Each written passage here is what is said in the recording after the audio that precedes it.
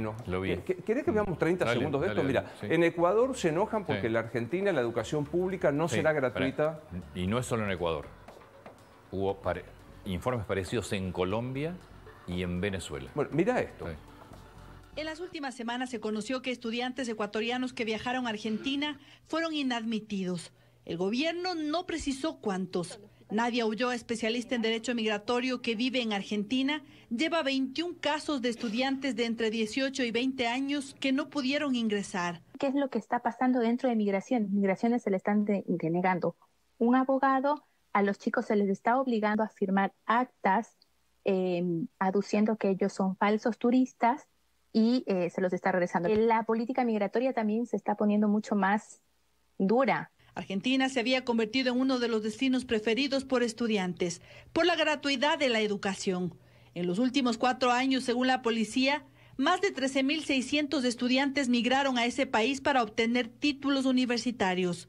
Pero desde la llegada de Javier Milei, se estudia la posibilidad de quitar ese privilegio a ciudadanos extranjeros. La Embajada de Ecuador en Argentina recomienda a los jóvenes interesados obtener una visa de estudios o la visa Mercosur antes de su viaje.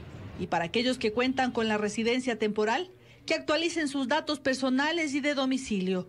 Las autoridades argentinas recalcan que se han fortalecido los controles migratorios y que no están dirigidos a una nacionalidad en particular. En las últimas semanas se conoció que... Bueno, ahí está.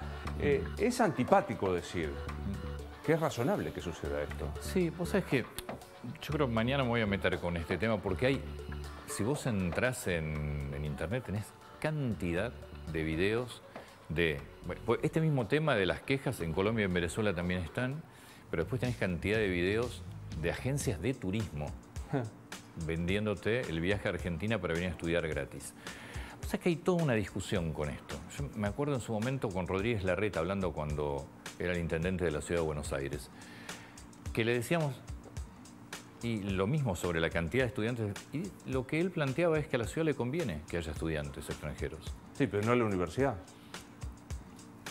Yo ahí tengo Porque, mis dudas. Sí, que claro que... le conviene que venga gente, que alquile, Sí. que se mueva el mercado inmobiliario y todo esto. Pero acá hay que mirarlo desde el punto de vista de la universidad. La universidad argentina puede bancar, en una, en una Argentina en que todo el mundo me cita que- pará, pará. ¿puede bancarse? Yo, yo de una te digo, para mí le tenés que cobrar a los extranjeros. Una cosa módica, No sé accesible. si es una cosa módica o accesible. Vos tenés que brindar la educación gratuita al argentino.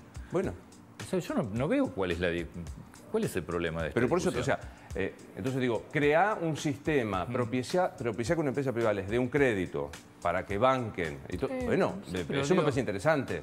En definitiva, todo lo que paguen aquellos extranjeros que después terminan y se vuelven a su país, porque es distinto si tienen un compromiso de quedarse y ejercer la carrera que les fue dada en la Argentina. Pero si se vuelven, ¿cuál es el problema? Bueno. si todo lo que vos recibas como universidad te va a servir para tener mejor infraestructura, mejores insumos, bancar carreras de chicos argentinos que no tienen la posibilidad de pagarla. Bueno, mira, hay, dos opciones. Una, un crédito. Otra, el compromiso que se tienen que quedar, no sé, voy a decir una pavada, No, cinco el- años el a ejercer famoso, la profesión. famoso préstamo de honor que en, otro- en otros países funciona, que vos te comprometes a quedarte cinco años ejerciendo Sí. de la carrera que vos te preparó el país. Total. Yo no veo que haya mucha discusión. Igual el decreto, que entre otras cosas el DNU también va sobre esto, por eso estos videos que aparecieron, no obliga a cobrar, ¿eh?